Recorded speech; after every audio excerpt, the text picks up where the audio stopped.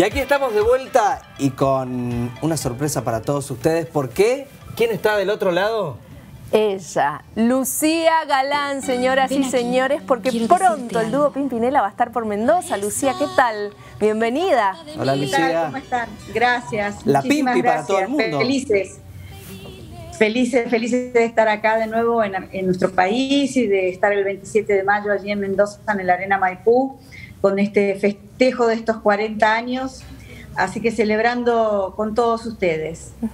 Cuando revisás eh, el, trabajo que han hecho y demás, ¿en dónde encontrás la clave para decir por esto seguimos siempre vigentes? Porque es la verdad, siguen vigentes, siempre.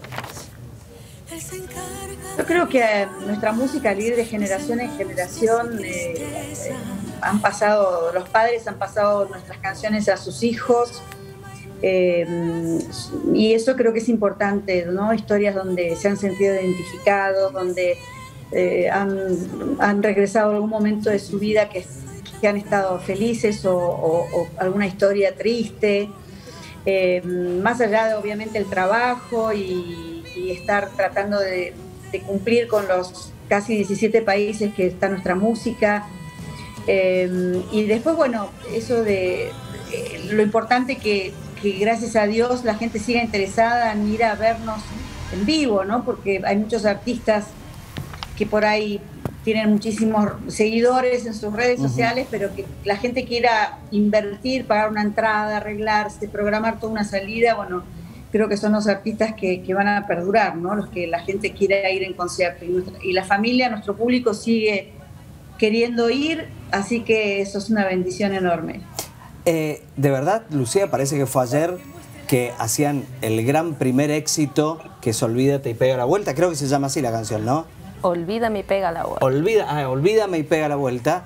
Eh, y hoy lo hacen los chicos en la escuela, eh, nosotros en la pantalla. Digo, nos seguimos agarrando de esa canción para, para, para, para actuar, para divertirnos. ¿qué, qué sentís cuando ves eso? Es, un himno, casi un himno. Sí, sí. Sí, bueno, este, siento mucha alegría, siento eh, orgullo, siento, es como una caricia, ¿no? Que, los niños en los colegios o en los karaokes o, bueno, o la gente eh, cante nuestra canción, aunque se equivoque el título de la canción pero creo que eso no es lo importante, lo importante es que haya quedado como en el, eh, en, el imaginario de la gente, ¿no? la cuestión de la pelea, como dicen, y la cuestión de, de, tenerlos presentes cuando dos políticos se pelean aquí o en España, bueno, poner esa canción, en fin, muchos momentos. es sin duda la canción que nos abrió las puertas en tantos lugares, así que la seguiremos cantando con todo el placer del mundo hasta, hasta el final. Uno de los primeros impactos de mi niñez, cuando me enteré que eran hermanos. lo contaba fuera del aire. Pero es que es verdad, lo tengo que decir. Le ha encantado tanto el amor que yo los tenía. Yo creí que eran pareja. Claro, al principio cuando, al principio, claro, cuando cantábamos estas canciones y no nos conocía tanto la gente, sin duda daba para la confusión, por eso hicimos el álbum que se llama Hermanos, como para que quede bien claro que lo que hacemos arriba del escenario no es solamente cantar canciones de pelea o canciones de pareja, sino que también canciones que interpretando dos personajes, dos roles como dos actores de en cualquier tira o en cualquier novela o película, eso es lo que hacemos. Jugamos a ser muchos personajes. Eh, ¿cómo, ¿Cómo ha sido durante estos 40 años que, han estado siempre arriba, muy arriba, cuidar la vida privada. Porque de Joaquín prácticamente poco y nada sabemos, digo, la, ha sabido resguardar muy bien. En tu caso también, dos o tres datos, digamos, pero, pero ¿cómo, cómo ha sido eso? Esto es, un, es una consigna o es un, em, un código que, que uno tiene de entrada y que si lo mantenés, eh, los medios te respetan y te lo respetan, ¿no? O sea, el que abre las puertas de la intimidad es uno y el que dice hasta dónde te permito es uno. Entonces eh, uno tiene que ser constante con, ese, con esa manera de, ser. No porque a mí me interese que vos me des la nota para anunciar un concierto, yo te voy a, contestar todo lo que quieras para tener la nota, ¿no? Entonces, eh, si vos sos consecuente a lo largo de tu historia con esa forma de, ser, eh, ya saben qué preguntar, qué no preguntar, y si lo preguntan ya saben la respuesta. Entonces, creo que, eso es importante. Saben hasta donde nosotros hemos permitido que sepan y, hasta donde uno eh, abre la puerta ¿no? de su intimidad. Claro. Eh, ¿Seguís negándote a cantar el cuento de Superman?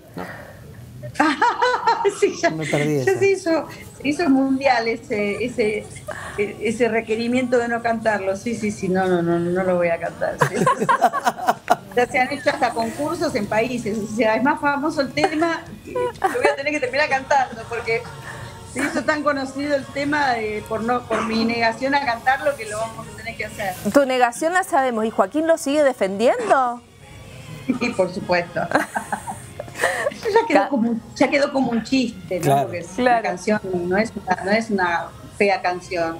Nada, simplemente es una de 500 que, que dije que no.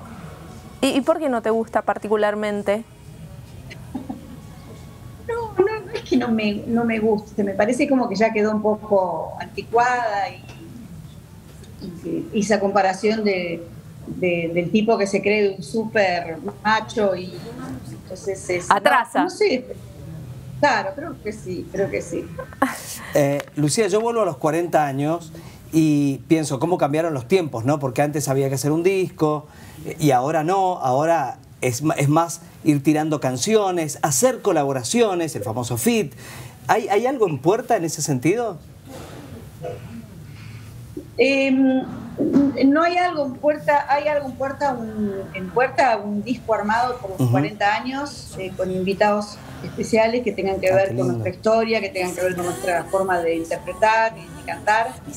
Em, pero los fit que hubieron o los, las em, las incursiones de cantantes en, nuestras, en nuestra carrera, siempre vino la canción primero y después qué personalidad o qué persona sería para tal canción, ¿no? O sea, no, no fue algo programado marketingianamente o por la compañía o por para, no sé, obtener un mercado, o, no, siempre fue primero importancia a la historia y después qué cantante podría resaltar o podría reafirmar esa, esa historia, ¿no? Fueron precursores, ¿no? Con Diango, por ejemplo. Creo que sí, porque creo que sí, porque eh, con Diango en el 86, 87 no, no, se, estiraba a hacer. Creo que anteriormente lo había hecho Julio Iglesias con el Puma, pero después no era tan común eh, juntarse así entre artistas y cantar. Sí. Lucía, te chapaste a Vicuña. No, así. Te chapaste y dicen las malas lenguas que decía, salió mal, salió mal, hay que repetir. Claro, pues, pero yo por, profesional, o sea, no, no por ningún otro, otra, no, no. Sí, sí, sí, soy por la envidia de toda la, América. La, ¿Eh? lista, la lista de mujeres que te deben estar odiando. Pero, ¿cómo? Envidiando como mínimo. mínimo. Imagínate. Ah, sí, cuando lo veo es una historia cuando lo veo es una historia de amor maravillosa de de una, mujer madura, por, para no decir mayor, eh, que se enamora de un hombre 20 años menor.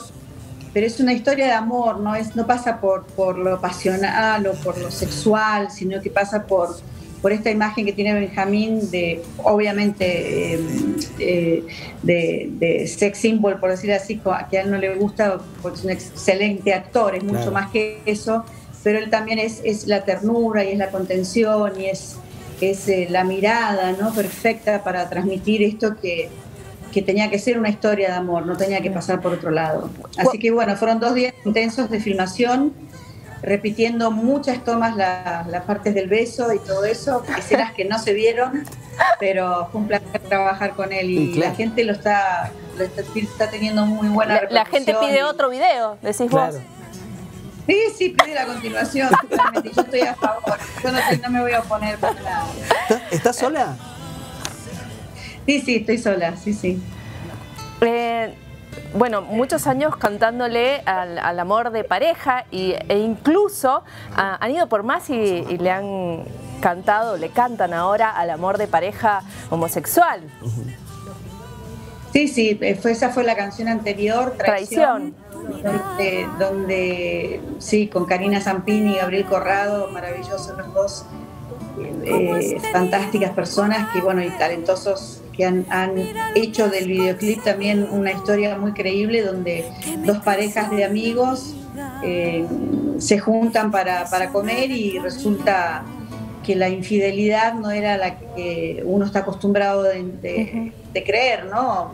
Sino que era entre, entre ellos dos. Y realmente fue, tiene ya más de 42 millones de visitas en YouTube y realmente cada país que lo hacemos, la gente participa y, se queda aplaudiendo un rato largo, largo. Y creo que es importante, ¿no? También mostrar este otro tipo de amor que existe, que es genuino, que es verdadero y que debería ser naturalizado absolutamente, ¿no? Lucía, ¿tenés una frase o una palabra que pueda resumir estos 40 años de carrera? Eh, gratitud, sí, gracias a toda la gente que, sin duda la gente fue la, la familia fue la más, mayor difusora de nuestra música, lo sigue siendo, eh, así que bueno, profundamente agradecido, yo creo que esa es la palabra sin duda. Si estaba Joaquín se los hacía tipo TikTok, pero como no está, te, tiro un ping-pong cortito donde decís él o yo. Respondés solamente con eso. ¿Quién es el más malhumorado? No, ninguno. ¿El más disciplinado? Él. ¿El más apasionado? Eh, yo. ¿El más romántico? Los dos. Te dejo ahí para que conocieran un poquito más de ustedes. 27 de mayo, ahí en el Arena Maipú, Mendoza los espera, ansiosos a los Pimpi, así que gracias por esta, por esta charla, hermosa. No, gracias a ustedes dos, un beso muy grande a, toda la gente de Mendoza y nos vemos para festejar juntos estos 40 años ahí en el Arena Maipú. Gracias. Beso enorme, Lucía, gracias.